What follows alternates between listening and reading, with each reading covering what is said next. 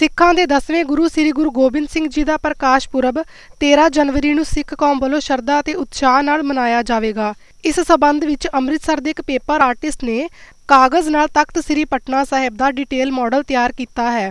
ਗੁਰਪ੍ਰੀਤ ਸਿੰਘ ਨਾਮੀ ਇਸ ਆਰਟਿਸਟ ਨੇ ਇਸ ਬਾਰੇ ਪੱਤਰਕਾਰਾਂ ਨਾਲ ਗੱਲਬਾਤ ਕਰਦਿਆਂ ਦੱਸਿਆ ਕਿ ਉਸ ਨੂੰ ਇਹ ਮਾਡਲ ਬਣਾਉਣ ਵਿੱਚ ਡੇਢ ਤੋਂ 2 ਮਹੀਨੇ ਦਾ ਸਮਾਂ ਲੱਗਿਆ।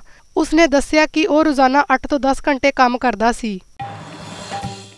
ਸ੍ਰੀ ਗੁਰੂ ਗੋਬਿੰਦ ਸਿੰਘ ਜੀ ਮਹਾਰਾਜ ਦਸ਼ਮੇਸ਼ ਪਿਤਾ ਉਹਨਾਂ ਦੇ ਪਾਵਨ ਪਵਿੱਤਰ ਜਨਮ ਸਥਾਨ ਦਾ ਡਿਟੇਲ ਮਾਡਲ ਜੋ ਕਿ ਪਟਨਾ ਸਾਹਿਬ ਹੈ ਜੋ ਕਿ ਪੰਜਾਂ ਤਖਤ ਸਾਹਿਬਾਨਾਂ ਦੇ ਵਿੱਚ ਵੀ ਸ਼ਾਮਿਲ ਹੈ ਉਹਦਾ ਡਿਟੇਲ ਮਾਡਲ ਮੈਂ ਕਾਗਜ਼ ਦੀ ਮਦਦ ਦੇ ਨਾਲ ਤਿਆਰ ਕੀਤਾ ਹੈ।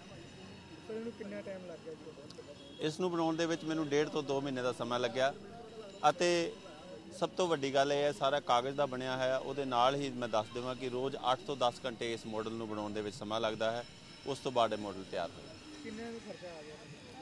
ਇਸ ਤੇ ਤਕਰੀਬਨ 15 ਤੋਂ 20 ਹਜ਼ਾਰ ਰੁਪਏ ਦਾ ਮਟੀਰੀਅਲ ਦਾ ਖਰਚਾ ਆਉਂਦਾ ਹੈ। ਕਾਫੀ ਸਾਰੀ ਇਹਦੀ ਇਹਨੂੰ ਐਕ੍ਰੈਲਿਕ ਪੈਕਿੰਗ ਦੇ ਵਿੱਚ ਪੈਕ ਕੀਤਾ ਜਾਂਦਾ ਤਾਂ ਕਿ ਇਹ ਕਿਸੇ ਵੀ ਅਜਾਇਬ ਘਰ ਦੇ ਵਿੱਚ ਨਗਰ ਕੀਰਤਨ ਦੇ ਵਿੱਚ ਇਹਨੂੰ ਸ਼ਾਮਿਲ ਕਰਨਾ ਹੋਵੇ ਤਾਂ ਬਹੁਤ ਵਧੀਆ ਇਹ ਇਹ ਕੁਆਲਿਟੀ ਦਾ ਮਾਡਲ ਬਣਦਾ ਹੈ। ਕਿਸੇ ਵੀ ਅਸੀਂ ਅਜਾਇਬ ਘਰ 'ਚ ਜਾਂ ਨਗਰ ਕੀਰਤਨ 'ਚ ਸ਼ੋਭਿਤ ਕਰ ਸਕਦੇ ਹਾਂ। ਕੀ ਮੈਸੇਜ ਹੁੰਦਾ ਮੈਸੇਜ ਇਹੀ ਹੈ ਕਿ ਇਸ ਤਰ੍ਹਾਂ ਦੇ ਧਾਰਮਿਕ ਸਥਾਨਾਂ ਦੇ ਮਾਡਲ ਜਿਸ ਤਰ੍ਹਾਂ ਕਿ ਦਸਾਂ ਗੁਰੂ ਸਾਹਿਬਾਨਾਂ ਦੇ ਆਪਾਂ ਡਿਟੇਲ ਮਾਡਲ ਤਿਆਰ ਕੀਤੇ ਨੇ ਜਾਂ ਇਹ ਜੋ ਮਾਡਲ ਨੇ ਇਹਨਾਂ ਨੂੰ ਅਸੀਂ ਸਿੱਖ ਅਜਾਇਬ ਘਰਾਂ 'ਚ, ਨਗਰ ਕੀਰਤਨਾਂ 'ਚ ਵੱਧ ਤੋਂ ਵੱਧ ਸ਼ਾਮਿਲ ਕਰਿਆ ਕਰੀਏ। ਇਹਦੇ ਨਾਲ ਹੀ ਇਹਨਾਂ ਦਾ ਇਤਿਹਾਸ ਲਿਖਿਆ ਹੁੰਦਾ ਤਾਂ ਕਿ ਸਾਡੀ ਆਉਣ ਵਾਲੀ ਜਨਰੇਸ਼ਨ ਨੂੰ ਜਾਂ ਸਾਡੀ ਅੱਜ ਦੀ ਜਨਰੇਸ਼ਨ ਨੂੰ ਇਹ ਜੋ ਪਵਿੱਤਰ ਇਤਿਹਾਸ ਹੈ ਗੁਰੂ ਸਾਹਿਬਾਨਾਂ ਦਾ, ਇਹਦੇ ਬਾਰੇ ਜਾਣਕਾਰੀ ਵੱਧ ਤੋਂ ਵੱਧ ਮਿਲ ਸਕੇ।